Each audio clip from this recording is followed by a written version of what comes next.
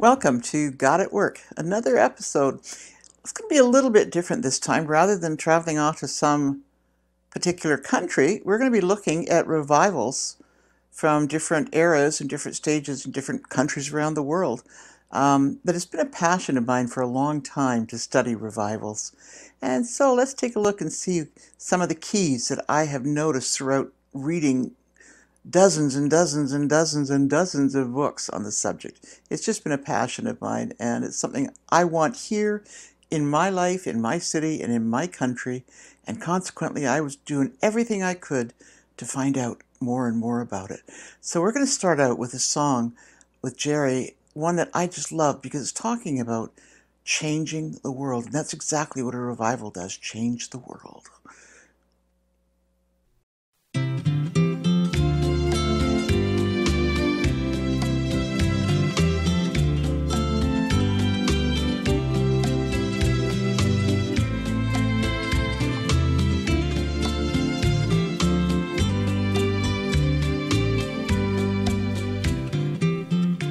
Can't change the stormy weather. You can't change the sands of time. You can't change the rugged mountain, so it's easier to climb. But you can change somebody's life just by giving them your own. One by one we'll change the world, so come on, sing this song. You can change yourself, it might take a little while. You can change your friends just by giving them a smile. You can change the world, and we've got so little time to chase away the darkness and fill the world with light.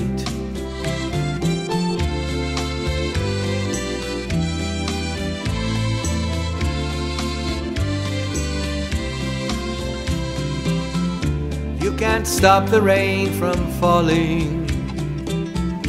You can't stop the ocean's tide.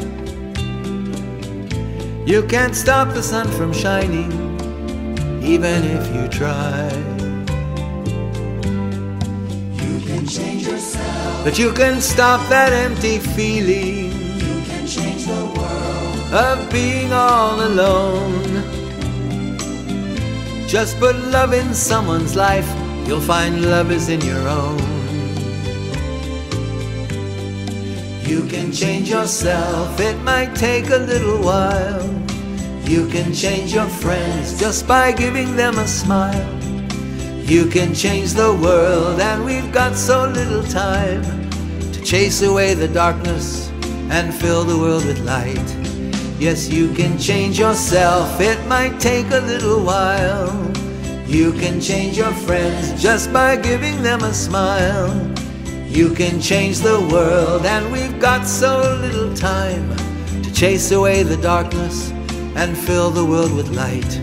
Yes, we can change the world, and we've got so little time to chase away. You can change the world. And that's a little bit of what I'm looking at today. You know, a lot of us have had hearts longing to see more of God. You know, probably if I asked right now, if we were together and I asked you, how many of you would love to see a revival here in, in your life, in your church, in your city? Probably the large percentage of you would raise your hands. It's been a longing, my heart's desire for so many years. Many years ago, back in about the 80s, I started having such a hunger and a longing for more and more of God. I'd come to a point I wasn't satisfied with things just the way they were. I wanted more.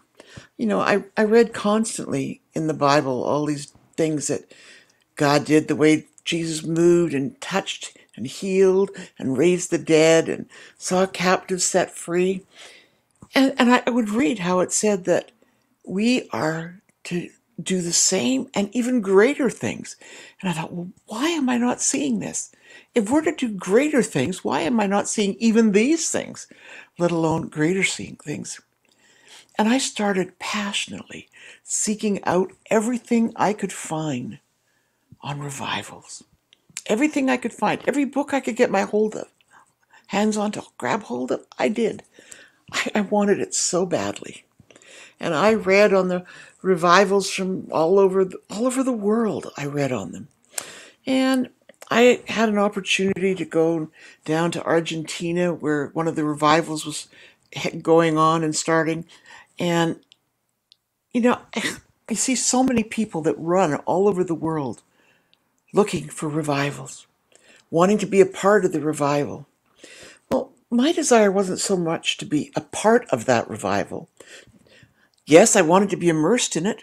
It was a wonderful thing, but I wanted more to see what was going on, to see what was lacking. I was studying in studying the revivals, I started looking incredibly for finding out what was happening when a revival broke forth. And I, I knew there had to be some common threads going on. And I started searching for them in every one of the books I've read. And I've read many, many, many books. I actually have one that was never even published. The, the author died before the manuscript even went went to publisher to print. So I mean everything I could find. I've spent hours talking with people that have been really involved with revivals and anything I could because I wanted more. There was just that passion burning within me. I so wanted more. I wasn't satisfied with just things the way things were. I remember one night before one of my trips to Argentina, actually, I was praying and I thought, God, I've got to see something different.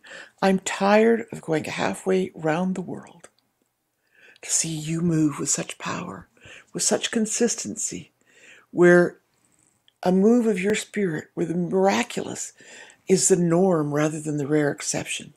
Yes, by then I'd seen blind eyes healed and I'd seen things happen, but not where it was the everyday norm, only where it, it happened once or here or there, but I wanted it to be the norm. I wanted it to be a regular part of my life, of my church, of my ministry.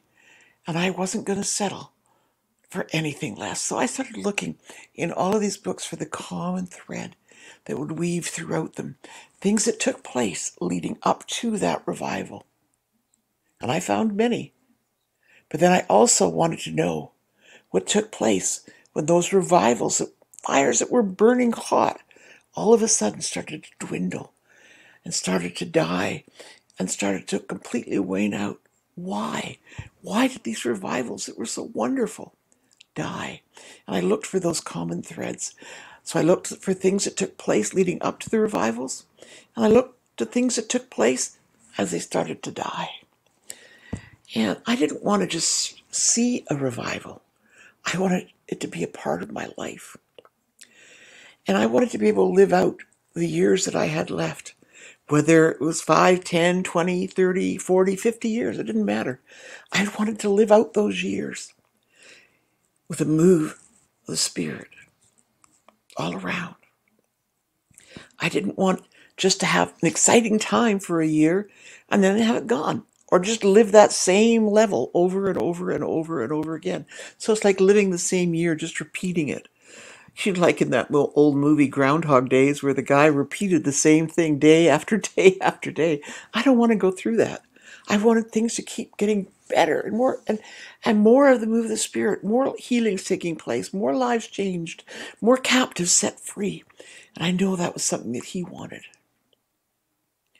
So I kept looking for it and studying it. And in studying some of the revivalists, I found some quotes that I just loved like Duncan Campbell, who was really involved in, in the Hebrides revival, Lewis Island in Scotland, back in 1949 ish to 52. And I thought, God, I want to know. And I, I studied all sorts of things on him. And one of the things that he made a comment of, he said, You must win people to yourself first before you can expect to win them for the Lord. And the way to achieve this is by practical demonstration of kindness and godliness.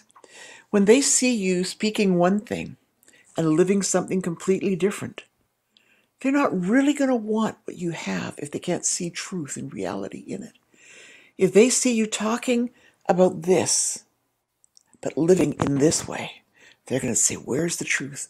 Where's the reality? Another revivalist, his name was Ro- Robert Leighton, and at one point he was being accused of by other ministers of not speaking to the social and political issues of his day. He was being accused of just being, you know, living life day to day as it was and not speaking to any of these issues.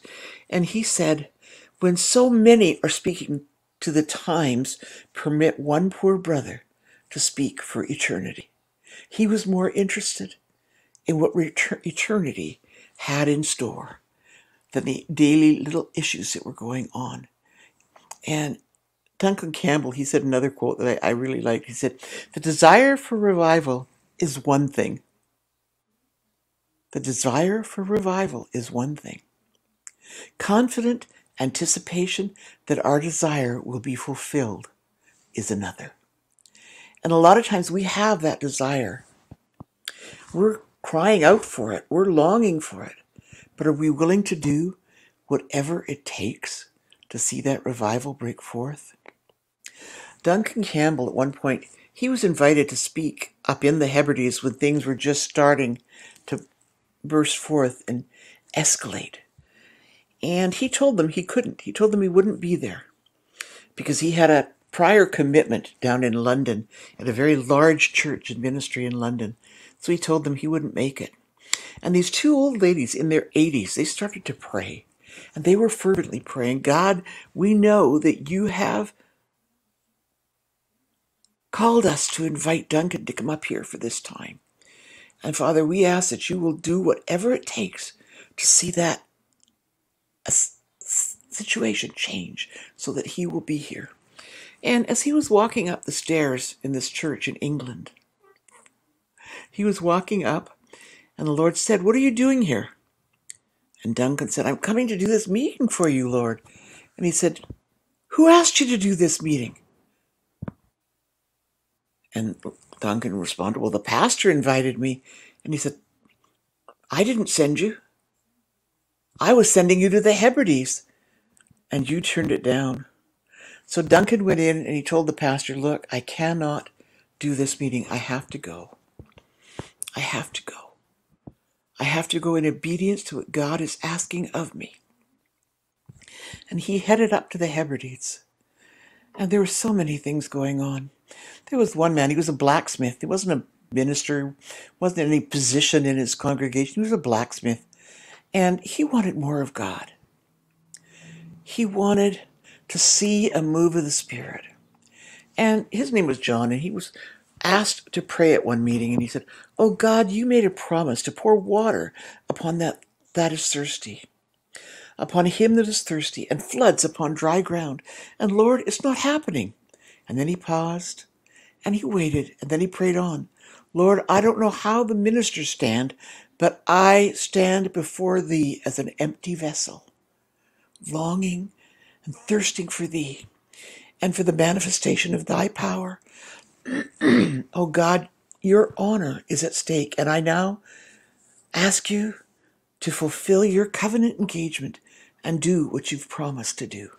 And right at that very moment, as he was praying, the house where he was shook.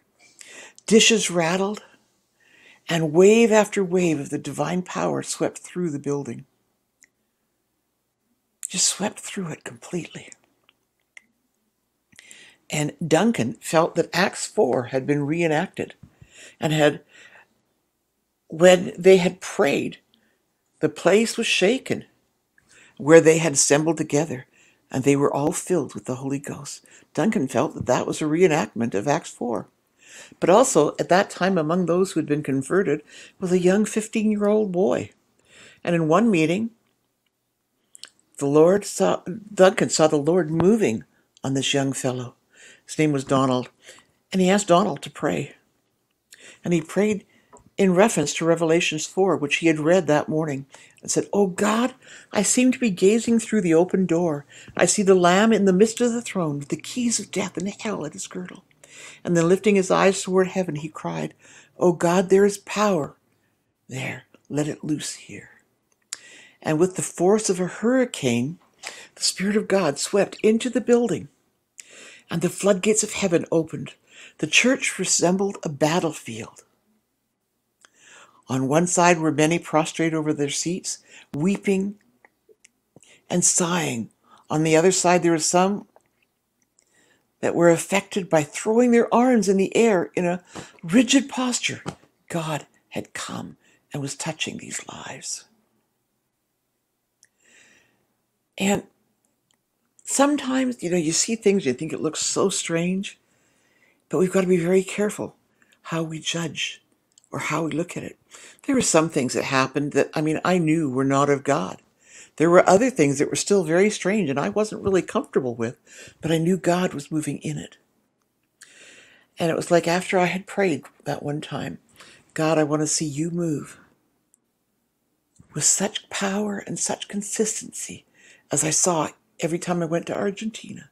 And so this night before traveling down there, I made this prayer God, I want to see you move in my life, in my church, in my city, in my country with such consistency. And if I don't start to see things change, God, I want out. I don't want to play church anymore, Father. I want that real move of you, of your spirit in our midst. And things started to happen. Actually, from when I was returning from Argentina, nobody knew down there what my prayer had been before leaving. And as I was heading to the airport, I had to stop at the church to do one more service. They had services 24 hours a day at that time and I was I was doing four, five, six services a day sometimes. But this was my last service before heading to the airport, and I was walking out to preach when they uh, when they called me out, and the two main pastors pointed out as if they'd planned it in unison, pointing at me, just pointing one after the other, and whew, and they said, "Rauna, God said to tell you He's heard your heart's cry." From this moment your life, your church, your ministry, your city will never be the same. And so I was on the plane on the way back, writing out my sermon notes. And when I got to the church, I was already late because my flight had been delayed. And being that I had a church that had an outreach to the poor, to the homeless, the alcoholic, to the drug addicts, it was so well known in seeker sensitive churches. The sermon can't be longer than this because they can't take anything longer, and there can only be this amount of music, and there can only be this long a meeting. And I walked in, and I had my sermon notes in hand, and I was walking up to the pulpit. And God said, Put down your notes. I said, But God, this is the message that you gave me. And I'm just heading up to preach it. He said, Yes, it's a message I gave you, but it's not for now. Put down your notes. And I am, but God. And he said, I told you that things will change. Now, are you going to let me out of the box that you've put me in and let me be God? Are you going to let me out of that box and let me be God? Yeah, Lord. And forgive me. And I threw down my notes and I headed forward. And I saw things change. I saw things take place some that I wasn't comfortable with. But when I knew God was in it, I had to make a choice to become uncomfortable in me and my ways and what I was doing, or to be obedient to God. And I knew that it had to be related to some of these keys that I had been reading on.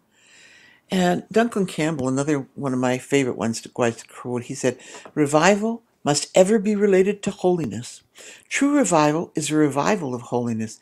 He believed that personal holiness is more desirable than happiness, that it is not in heaven alone that God wants our saintliness, it is here and now, that holiness is not just a doctrine to be taught, it is a way of life, it is the life of Jesus. But, you know, Duncan he made comments. You know, he says, God's not expecting any of us to be perfectly saintly here on earth. That's not going to happen. But He wants us to aim for the best that we can and make short order if there's sin to get rid of it as quick as possible.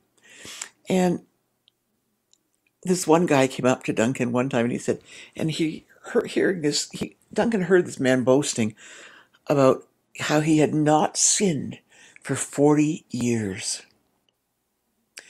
And Duncan replied, Well, brother, you've just broken your record. Bragging and being arrogant about it and making the comment, you know, that he didn't sin in 40 years. And, Duncan, you just broke your record. But noting through all of these studies, I found some of the common keys to the past revivals. And a revival is not all of the, you know, airy fairy tales that you hear of some of these things. And um, I'm not going to mention any of the ones that I have I have trouble with because I know some of the things have been God, but not all of them by any means. And when one person that was involved in a revival that was going on made a comment that he got this from Argentina, and I called him up. I knew the fellow, and I said, Tell me, where in Argentina did you get this? Where in Argentina did you see people walking like crabs and roaring like roosters and doing such and such? I said, if you said God gave it to you for this or that or whatever, that's one thing. But to say you got this in Argentina and that's why you're bringing it here, uh uh I said, I have been down to Argentina. At that point, I'd been there over 30 times. And I said, I have never, and I've been to many of the churches, pretty well all of the churches that were involved in the revival that was going on down there. You can't blame that on Argentina. And he said, Well, I just thought. I said, We're not looking for your thought. We're looking for obedience to God and to the things of the Spirit. So people are not satisfied with what they've got, and they're looking for more. They're not willing to remain where they're at spiritually. They want more. I want more. I still want more. And I've been, you know, in many, many countries and seen revivals in different forms and shapes in many countries. But I want more. I'm not satisfied. So many people get involved in a revival that they see going on around them, and they become satisfied with that rather than desiring more, rather than looking for more of what God has. They become stagnant with that.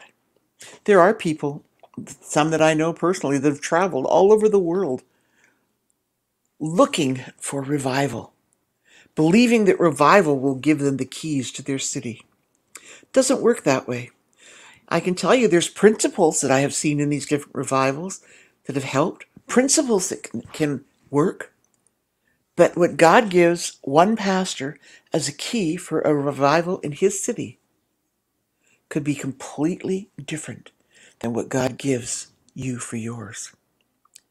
You know, for example, when I was pastoring the Westminster Foursquare Church, it was really kind of interesting because we had a real move of the Spirit going on, and lives were being touched. And we had this a very small church, but we had a large outreach to the homeless, to the addicts, to the drug addicts, to the prostitutes.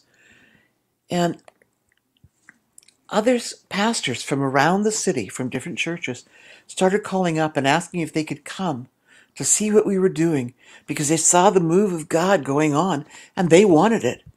And I had several come. One that was maybe was particularly funny from somebody up in the British property area you know, very wealthy area of the city that figured having this outreach to the poor, to the homeless, was the key for the revival. And so he started an outreach to the homeless, to the addicts, to the prostitutes up in his area. Do you think his neighbors were very pleased with that? No. They got so mad they tried to get the city to shut the guy down. But that wasn't the key for him. He needed to find out with the demographics in his area what is the need? How can I meet the needs of these people? What is their greatest need? For some, maybe it's an area where there's a lot of single mothers, and that's what they need. For others, maybe it's an area where there's a lot of elderly, and they need some type of ministry and outreach to the elderly to see something break forth.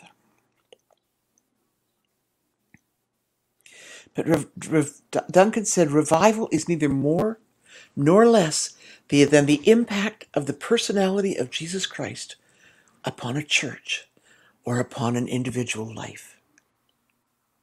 The impact of the personality of Jesus on your life, on what the people see in your life, will impact their lives, their areas, more than any eloquent sermon that you can preach. When God asked me to have the outreach to the homeless and the poor, I was a little upset. But God, you know, I've done this and I've got this and I've done that. And, you know, most of these people don't even have elementary school education, let alone university. And, you know, I was grumbling to God, you got the wrong person for this. And God said, I have put you where I need you to be. And putting you there, I know that you will learn you have to rely on me. Because if I put you in one of these churches, you would think that you could do it in your own strength. But you need to know that it's going to be your reliance on who I am and what I am capable of, not who you are. But in some of the revivals of the past, some of the keys that I found, one, I'm going to give you four of them. One of them was conviction of sin. When people really came to a place, they wanted nothing more than to see God move in their lives and in their midst. They came to the understanding and the realization that our God is a consuming fire. And when revival draws near, so does the fire. Believe me, you come to that point where you truly want to see God move in that consistency. You better know that you're going to be hit hard. It's going to happen. There is a conviction of sin. Henry Black is a was a Scotchman, an author on different revivals. He spent a lot of time traveling with different revivalists, and Duncan Campbell was one of them.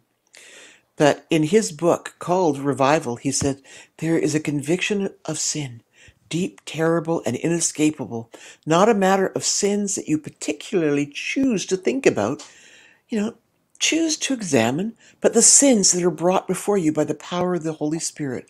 You need to deal with those, he said. You can either alter the revelation that God's showing you, and you can justify is this from God or is this just me, etc., etc. Or you can choose to deal with it. And you accept the divine verdict on your condition and the sin that is in your life. And let God change. Let God change you. Let Him deal with whatever is holding you back from receiving all that God has. And then you will see your life changed, your church changed, your community changed. And not just if you're the pastor. No, it takes everybody in that community. When you are concerned with your own sin and shortcomings, nothing else matters. God draws near, and there comes the burning fire and the conviction of that sin. The second one that I saw through all of them, you know, people would recognize sin, and so often today when we recognize something, we try and hide it, and we try and, you know, deal with, okay, God, forgive me, you know, but don't let anybody find out about it. But in these different studies on revivals that I did, do you know, I found when people found something, they so desperately wanted to be free.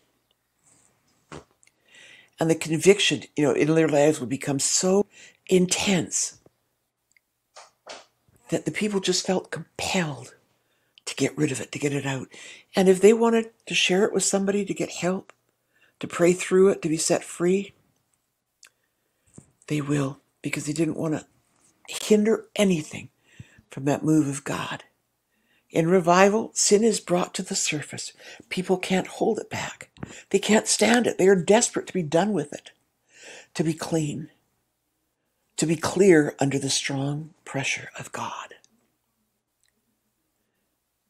You would find that there, and I have seen this in so many places, there would be conviction about relationships, about attitudes, sin in general. And God would call the immediate surrender, immediate obedience, and immediately breaking. And after God did the, the breaking, then there would come the flood of salvation. Charles Finney was a great revivalist in the 1800s in in, in this in, and he had a theory, you know, like when planting a garden, if you're going to sow seeds, you've got to break up the fallow ground. And he talked a lot about breaking up the fallow ground, the hard soil in our own lives, that we had to break it up, taking care of any of the things that were causing these issues. And then if we would sow seeds then when we had plowed up the broken up the fallow ground, then we would sow seeds and they would be able to take root and then we would reap the harvest. Then we would see things taking place. But Finney, he knew that it would yield no harvest if they just sowed the seeds on hardened ground, on unbroken ground. But then when the farmer breaks that fallow ground, then the farmer sows seeds in faith, expecting to reap a harvest. And it's like with us too. We have got to break up the fallow ground doing whatever it takes if we want to sow seeds and see that spiritual harvest. So we've got to receive whatever it can. Finney actually did a list, and I'm not going to go through them all now. It would take way too long. But he did a list of what he would call the sins of commission, and then he did another list, the sins of omission. The sins of commission were things like pride and envy and all this type of thing, slander, and things that we needed to take care of in our lives. And then the things of omission were things like a lack of love for God, uh, ingratitude, neglect of the Bible, unbelief, and all those type of things. Neglect of really truly believing in the power of God, and a neglect of a, a love for lost souls. And but as these things were dealt with, then he saw multitudes seeking and desiring to know what was happening. It brought one of the greatest revivals that America has ever seen. Again, in the book by Hugh Black called Revival, it states that Finney started to preach. When he did, there were about 600,000 Christians in America. And when he finished, there were over 6 million. Finney had been God's instrument for many of those 6 million. Then another revivalist, Evans Roberts, with the Welsh Revival, he talked about that there are conditions that must be met, and we too must come face to face with these conditions. And we will need to come to a place not merely of academic interest, but of positive action. That's one thing when I was doing this study on all of these revivals, I didn't want it just to be some academic chore that I was doing, but I wanted it to bring fruit. And one of the things that Evans Roberts said, he says, if there's any sin in your past that you have not confessed to God, get on your knees now at once. And Roberts would be right there. Get on your knees now. And he'd be see people all over the room, all over the meeting, falling to their faces, weeping before God.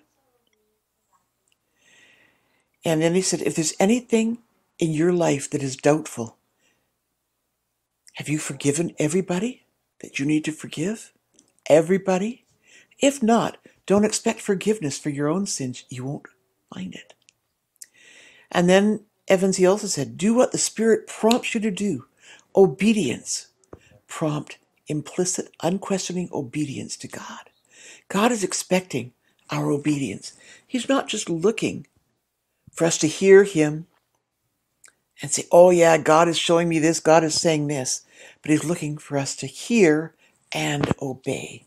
And that obedience has got to come from trusting Him. Trust the Holy Spirit and obey Him implicitly. And fourthly, Evans Roberts, he listed a very uh, well known and common part a public confession of Christ as your Savior. And with those steps following, being followed through, Evan Roberts, he found people saved in masses.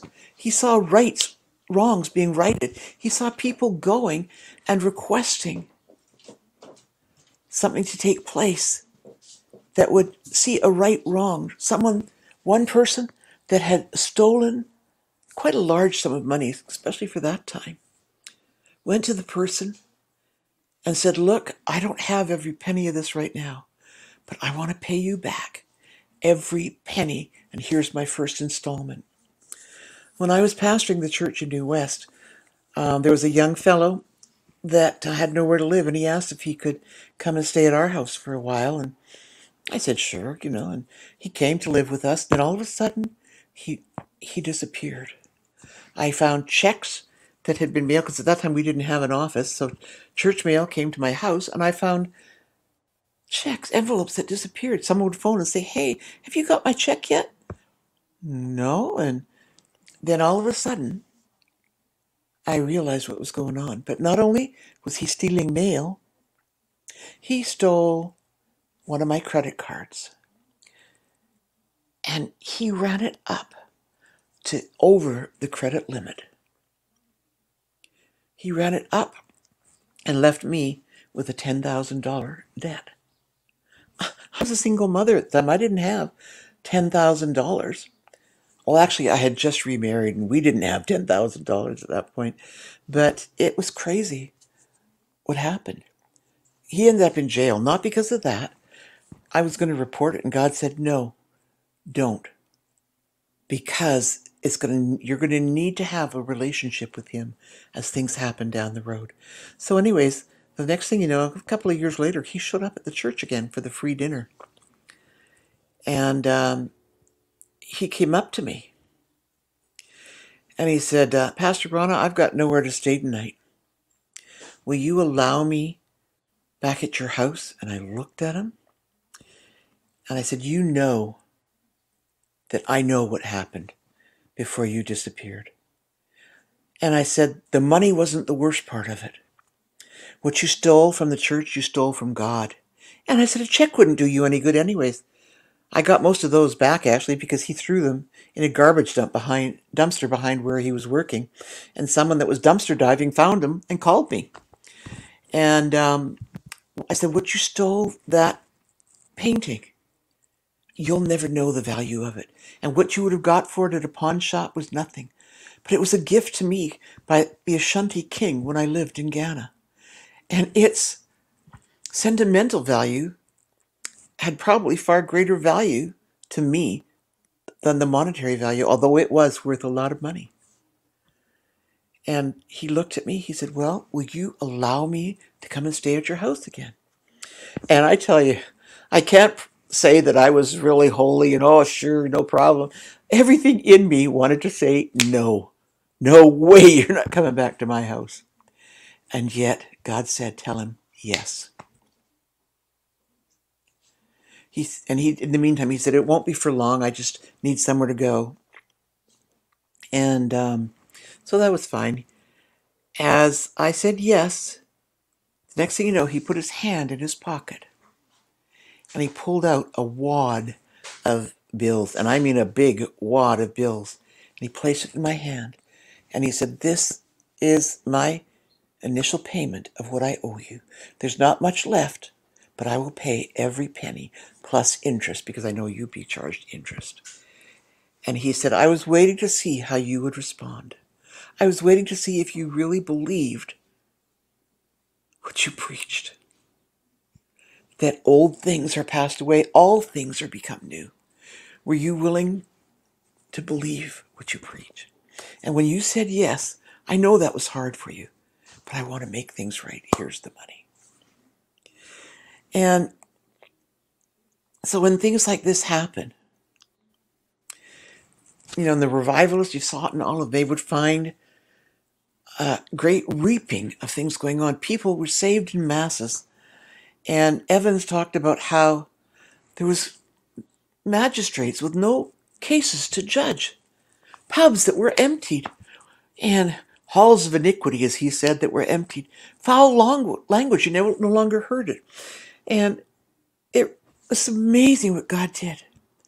But then there was also some characteristics throughout all of these revivals.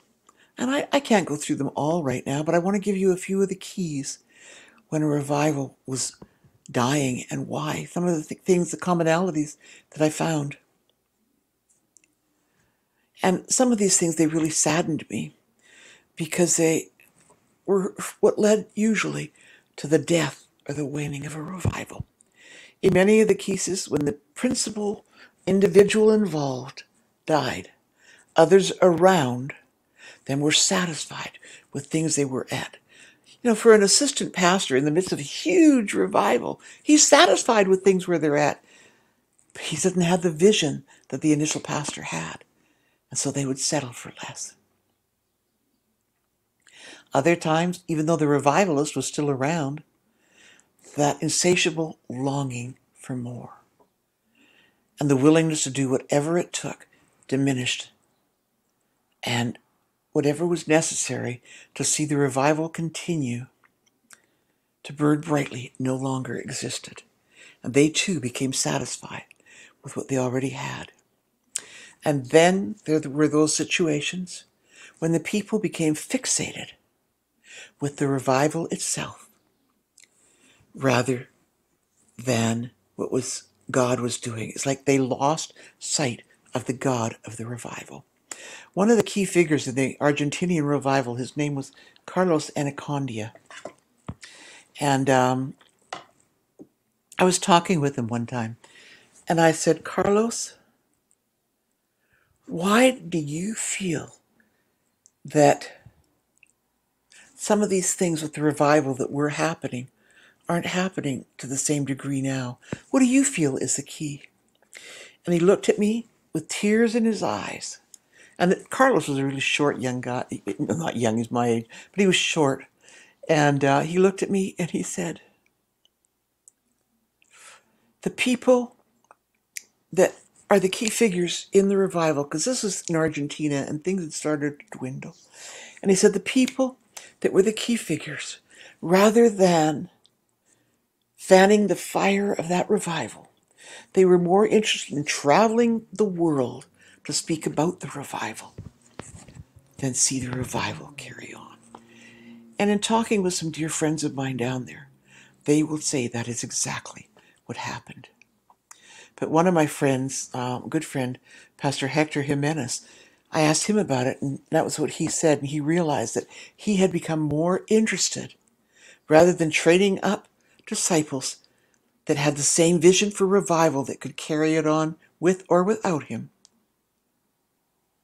He had become more fixated on traveling to do big meetings, to speak on the revival, than to live the revival and see the revival carry on and grow. And I know that we've got to come to that point where nothing is going to satisfy us other than the move of God, the complete move of God, that we're willing to do whatever it takes to see our lives right before Him, where we're willing to become more like Jesus. And I'm just going to ask Jerry if he'll finish with this song for me called More Like Jesus. It's a song that is my heart's cry. It's saying, Lord, you know, get, get rid of my pride and my vanity. Lord, help me to just live as you would have me live. I need to be more like you, Lord. I want to be more. I need to be more like you. So, Jerry, could you go ahead and play this just before I close in prayer? Thank you.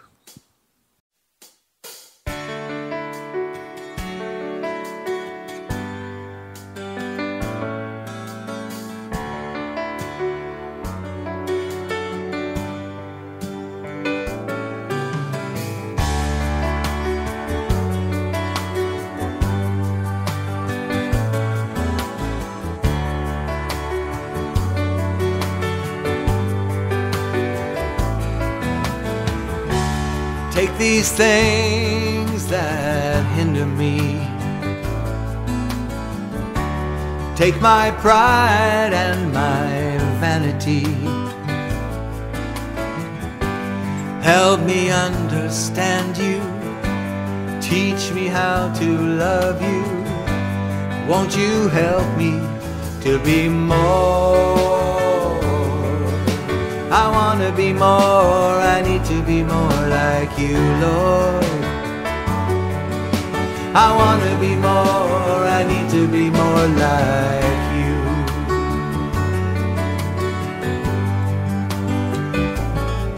Ooh.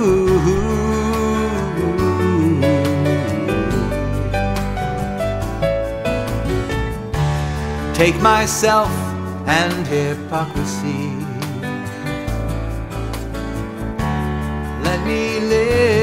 Simplicity. Help me burn my bridges and live your word within me. Lord, please help me to be more, more, more. I want to be more. I need to be more like you, Lord.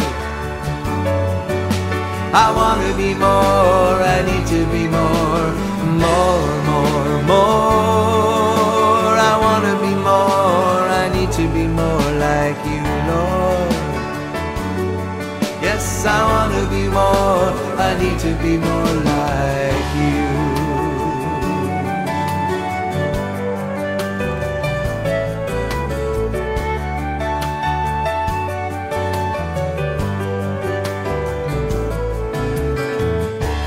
Take my heartache and emptiness. Deliver me from all worldliness. Take the chains that bind me. Put your arms around me. And then please help me to be more, more, more. I want to be more. Lord. I want to be more. I need to be more, more,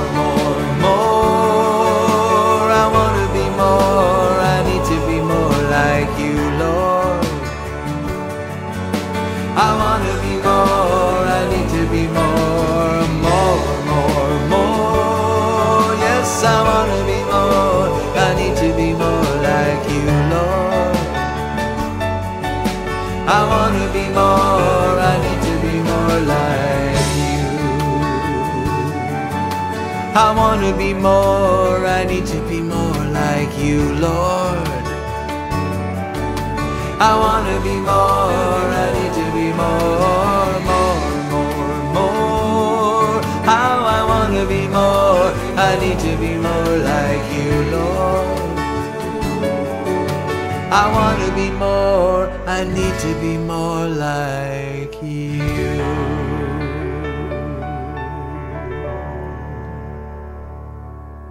Well, thank you for joining us today, and um, I hope it's been a blessing for you.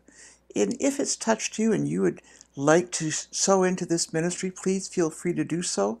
Jerry will put the instructions up onto the screen as to how you can do it and the, the best ways to go about. The e-transfer is only for those in Canada.